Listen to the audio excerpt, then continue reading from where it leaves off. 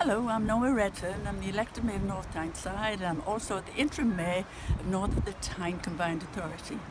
And I would like to take this opportunity to say I'm backing Nick Forbes for the role of Mayor of the Combined Authority. I'm backing Nick because he has the experience, he has the talent, he has all the working relationships already in place to do the job and to be quite honest, he's been very, very, very supportive of a combined authority because he knows this is the best way forward for the people of North Tyneside, Northumberland and Newcastle.